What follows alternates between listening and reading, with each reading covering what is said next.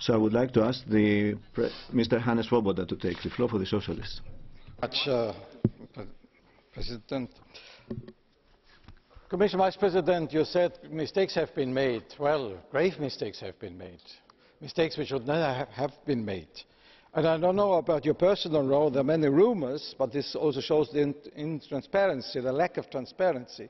But you should never have agreed to the attack on the deposits uh, below the 100,000 uh, euro uh, limit. This is not acceptable. It is destroyed also confidence and trust in the promises of the European Union. And therefore, I think we should change the whole structure of our policies and of the methods. As I said, Commission Vice President, yesterday, we may not like and we don't very often not agree with your policies, but you are democratically elected. You are responsible to this Parliament. The Troika is not. Stop the Troika. We don't need the Troika. That is not necessary. Do you know, do you know Commission Vice President, the behavior of the Troika? The rude behavior of the Troika? Do you know how they treated the president, the elected president of Cyprus? Ask them and ask the Cypriot representatives. And the rude behavior to the elected uh, uh, representatives and to the citizens of Cyprus and other countries is not acceptable. Let's stop the Troika. You and your colleagues are responsible. You are democratically legitimized. Yes, they are. And, and we want to speak with you about that. We don't need, we don't need the longer the IMF.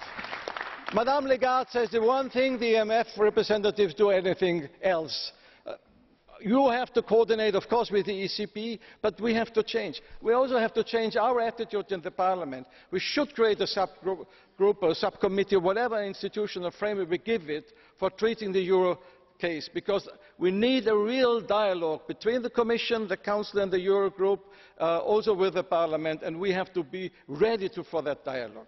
Thirdly, also the Council, I must really say, some members of the Council, like Mr. Schäuble, makes comments, these are comments of a neo-colonial behavior from above to the citizen. This is not acceptable.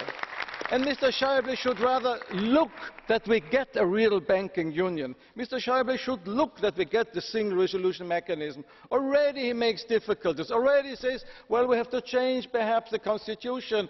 And already it is clear that there is no willingness, at least before the election, maybe after the election. But this is not acceptable. We need an efficient and viable banking union. The last point, Cyprus has potentialities.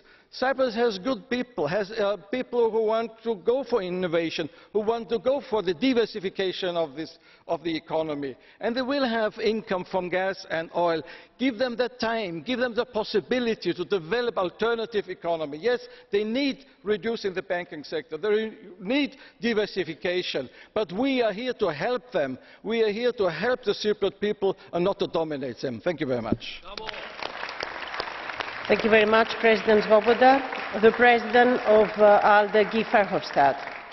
Yeah, I, I think that everybody can accept uh, that the, the, way we handled uh, the, the, Cypriot crisis was a disaster uh, the last week months. It's not very serious, naturally, and very fair that we say that to you, Mr. Rehn, because it